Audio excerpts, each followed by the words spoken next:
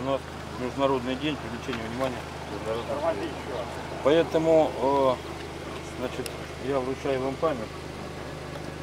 Вот. Будьте бдительны, внимательны, нарушайте правила дорожного движения. Международный день привлечения внимания к железнодорожным переездам удивительный, но и такое в нашем мире тоже существует. Впервые подобный день проводился в 2009 году. Инициатива исходила от европейцев. Теперь и мы тоже 10 июня уделяем этому особое внимание. Вообще у нас профилактика постоянная происходит.